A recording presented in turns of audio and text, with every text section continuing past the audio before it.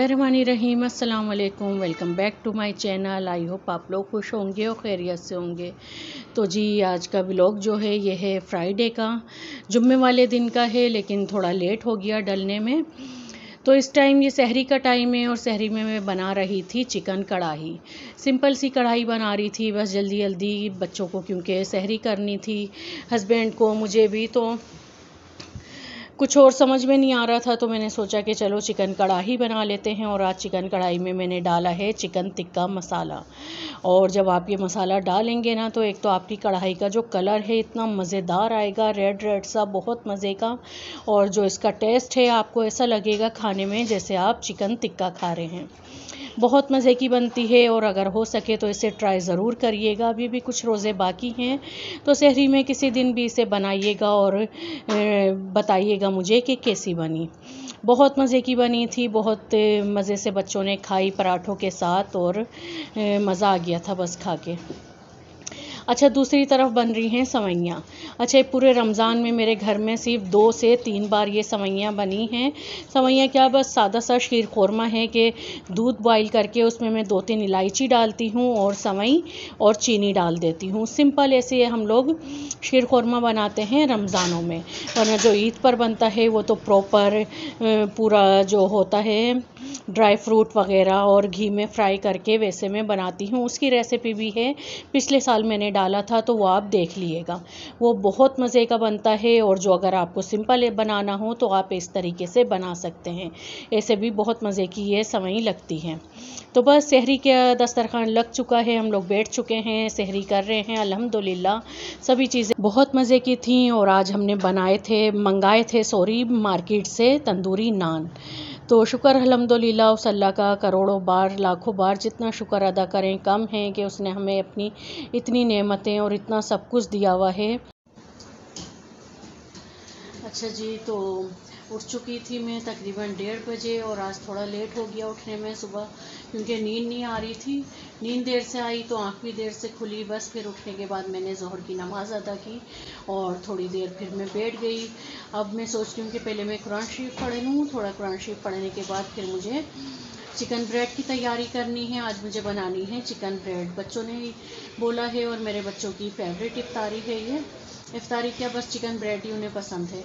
और बस कुरान शरीफ पढ़ते हैं, फिर उसके बाद किचन में चलते हैं और किचन में चल के जो डो बनाते हैं चिकन ब्रेड का, सबसे पहले हम वो बनाएँगे।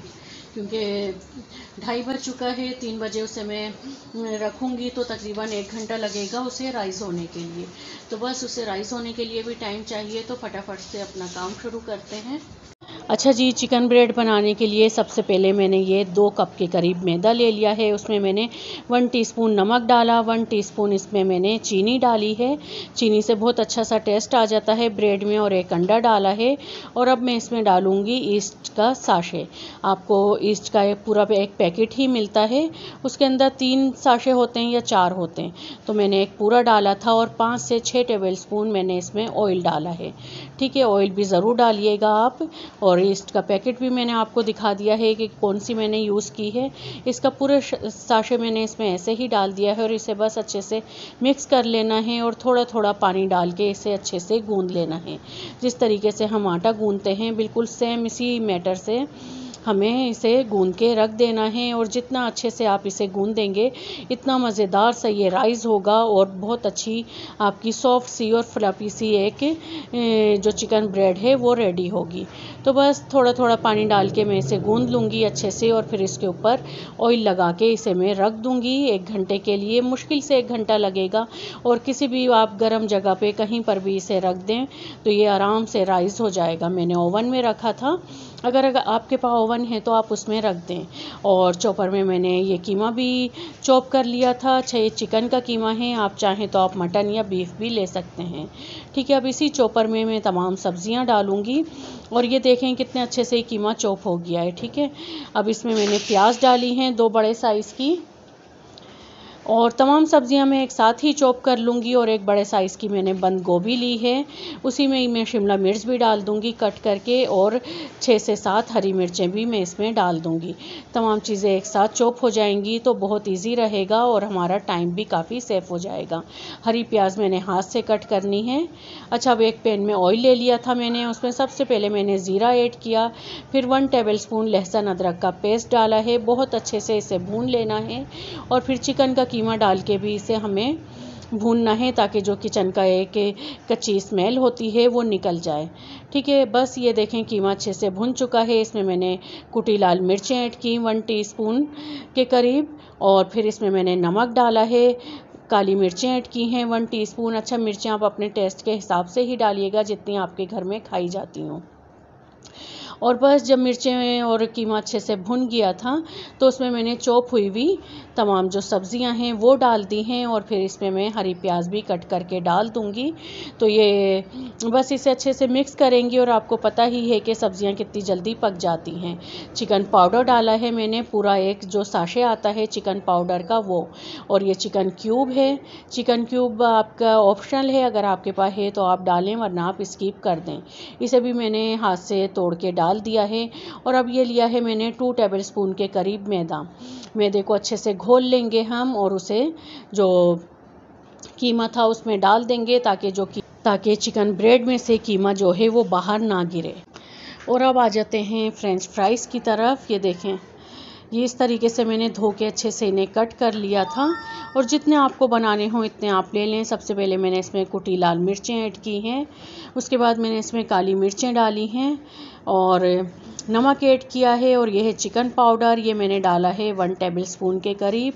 और बस नमक डालेंगे, कॉर्नफ्लोर डालेंगे और यह है चावल का आटा। चावल का आटा आपने टू टेबल स्पून डालना है और कॉर्नफ्लोर डालना है आपने थ्री टेबल स्पून बस इन तमाम चीज़ों को अच्छे से मिक्स करके रख देंगे इसे फ्रिज में।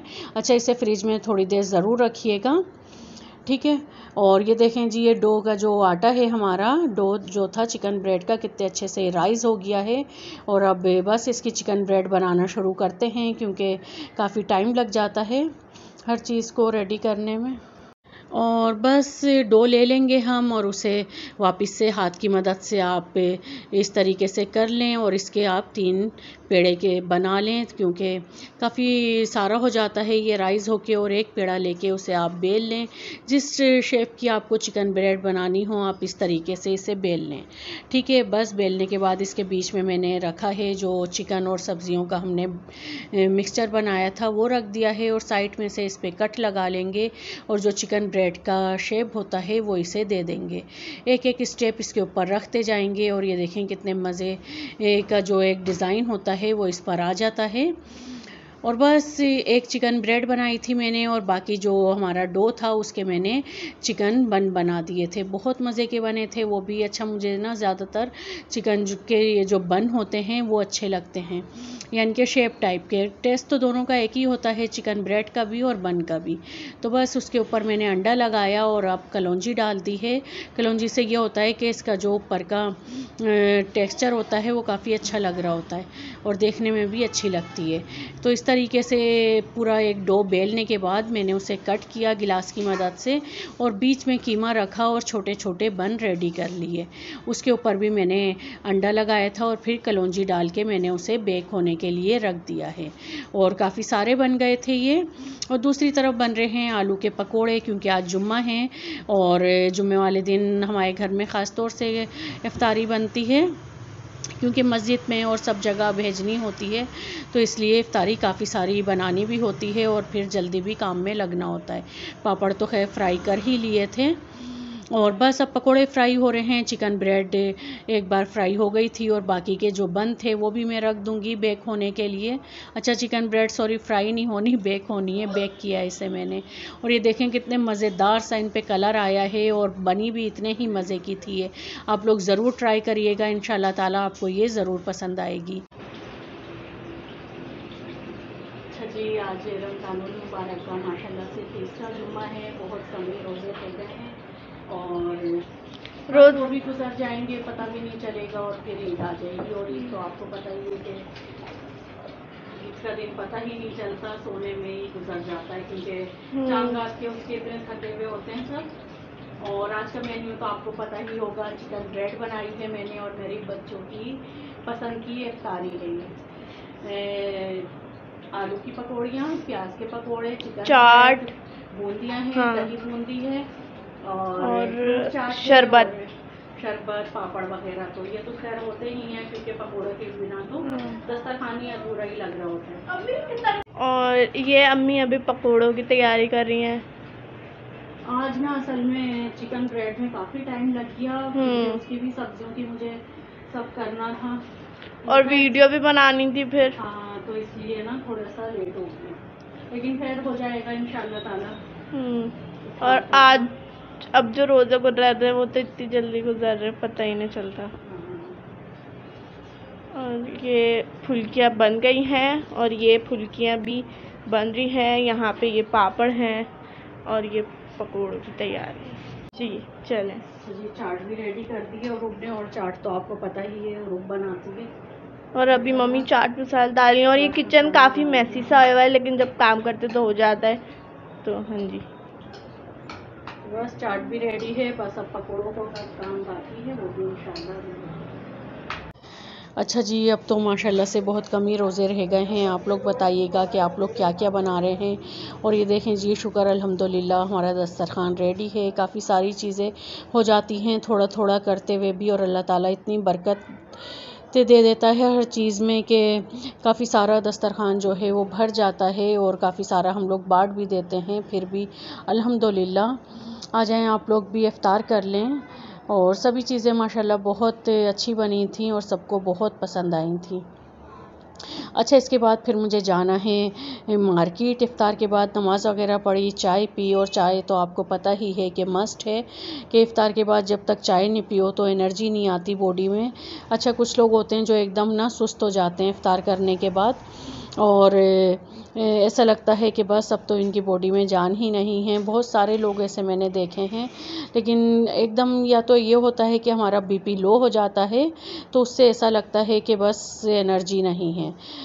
तो जी, उसके बाद फिर हम लोग आ गए थे मार्केट, और मार्केट का रश उफ़ल्ला, इतना ज़्यादा था, इतने लोग थे, इतने लोग थे, ऐसे लग रहा था कि बस खैर, ईद पर तो होता ही है और सभी बहुत शॉपिंगों में लगे हुए थे बच्चों के तो आपको पता ही है कि कितनी उनकी तैयारियाँ होती हैं।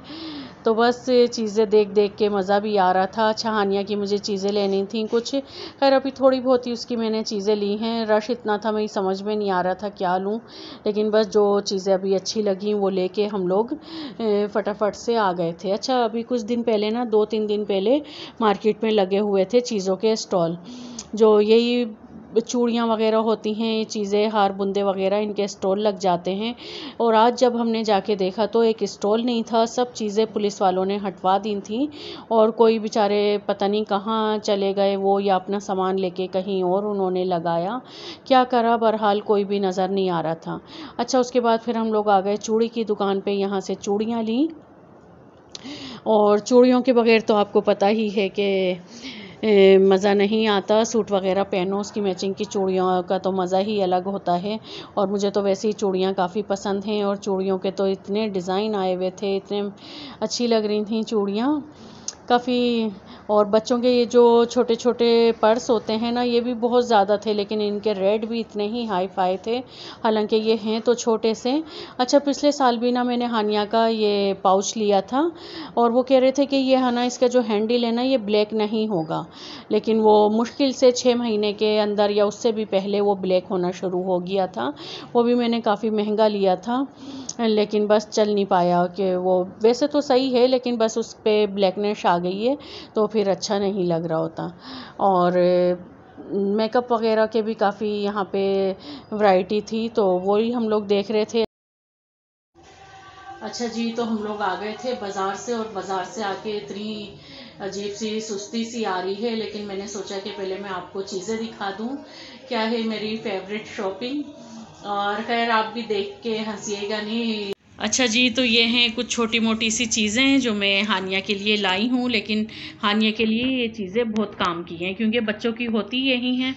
तो एक ये है, बालों में लगती है पोनी ना, और कलर बहुत प्यारा लग रहा था इसका, येलो। एक ये वाली पोनी ली मैंने, इसके अंदर रबड़ बैंड डला होता है, और इसी की मैचिंग का मैंने लिया ये कैचर। तो ये लिया और नेल पॉलिश ली, हानिया के लिए तीनों पीलो बस ये ऐसी लगा लो और ऐसी ये हट भी जाती हैं। दो केचर लिए हानिया के लिए। अच्छा ये एक केचर ना, ये एक उन्होंने दिया है, ये दोनों दिए हैं मुझे डेढ़ सौ के। और ये लिए एक हेयर बैंड लिया हानिया का। अच्छा इस किस्म के हेयर बैंड ना हमारे घर में बहुत आते हैं। ठीक है, आते हैं और ये हानियाँ तोड़ देती है तो फिर जब दोबारा आते हैं ना तो तब भी वो उसी कलर के ही या वैसे ही नस्ल के आ जाते हैं। तो बस ये ये कुछ चीज़ें हैं और एक ये पोनी तो मैंने आपको दिखाई दी और एक हानिया के लिए लिया है मैंने ये चश्मा। काफ़ी, है ना, स्टॉल लगे हुए थे, वो लोग, है ना, ये भी बेच रहे थे तो बच्चों पे बहुत अच्छा लगता है, बच्चे बाहर जाते हैं, ऊँट पे बैठते हैं और बाहर आइसक्रीम वगैरह खाते हैं ना तो जब हम छोटे थे ना तो हम भी लगाते थे। या शौक़ बहुत था हमें। खैर, सभी बच्चों को होता है। बाहर बच्चे लगाए हुए भी होते हैं, बहुत क्यूट लग रहे होते हैं, क्योंकि बचपन में तो सभी ऐसी चीज़ें अच्छी लग रही होती हैं और बचपन कहते भी सही हैं कि पता ही नहीं होता कि हम पे क्या अच्छा लग रहा है और क्या बुरा लग रहा है। बस सब कुछ जो मिल रहा हो ना, वो सब हमें लेना है और यूज़ भी करना है। अच्छा घड़ी भी थी, लेकिन घड़ी है ना, मेरी समझ में नहीं आया कि मैं कौन सी लूँ। मैंने अभी हानिया को ना, कुछ दिन पहले से, एक स्कूल के लिए वॉच ला के दी थी। तो बस वही थी हानिया के पास तो मैंने सोचा कि अब मैं रहने दूँ, और जो मेरे काम की चीज़ है, वो मैंने लिया है ये। गार्नियर, स्किन, एक्टिव, ये वाला मास्क। ये खैर मैंने अभी नहीं लिया, ये मैंने है ना डायमंड गई थी मैं तो वहाँ से लिया था। अच्छा ऐसी चीज़ें ना हम लोग या तो इम्तियाज़ से ही लेते हैं या फिर डायमंड वगैरह ऐसे स्टोर पे जाते हैं ना, वहीं से लेते हैं, क्योंकि हमारी मार्केट में ना बहुत ज़्यादा नकली चीज़ें मिलती हैं तो आप भी एहतियात किया करें। अक्सर जो ऐसे स्टोर होते हैं ना, बड़े सुपर स्टोर, वहीं से सारी जो कॉस्मेटिक्स की चीज़ें हैं, वो बाई किया करें। तो आपके पैसे भी बचेंगे और चीज़ भी असली आ जाएगी। और एक ये कॉटन बर्ड। ये लिया ये हमारे घर में बहुत ज़्यादा यूज़ होती है। ठीक है, और ये आती भी बहुत है, और एक ये लिया है मैंने चूड़ियाँ। ठीक है, ये लिया है, और चूड़ियाँ नहीं है, ये कड़े हैं, और काफ़ी अच्छे लग रहे थे, खैर मैं निकाल कर दिखाती हूँ आपको।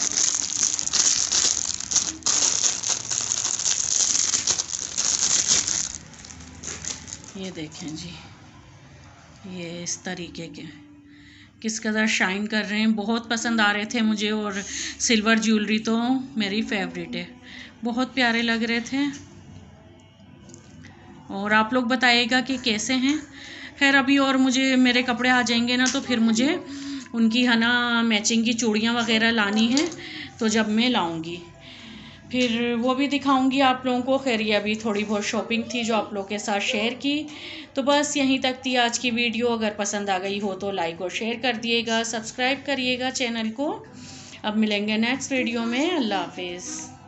अच्छा ये एक चीज़ मैं आपको दिखाना भूल गई है ना मैंने घर में से ही बैग निकाला है हानिया के लिए। भाई बहुत महँगे हुए हुए हैं छोटे छोटे पाउच दे रहे हैं छः छः सौ के। तो मैंने सोचा कि हानिया को अपनी चीज़ें ही तो रखनी है तो मैं घर में से ही कुछ जुगाड़ करके निकाल लूँ। तो इसमें ही है ना हानिया चीज़ें रखेगी। अभी मैं आपको रख के दिखाती हूँ। हाँ। देखें जी ये बैग है। इसे खोल लेंगे पहले हम और फिर इसमें है ना पहले तो डालेंगे हम ये हानिया के केचर नेल पॉलिश सारे केचर ये हानिया के ही हैं। हानिया की पोनी और ये भी, और हानिया का चश्मा, और ये आ गया आखिर में हानिया का हेयर बैंड और ये तैयार हो गई हानिया का शॉपिंग बैग अब इसमें से हानिया को जो लेना होगा, लगाना होगा, हानिया ले लेगी और लगा लेगी। एक तरफ़ सारी चीज़ें हानिया की सेफ़ हो गई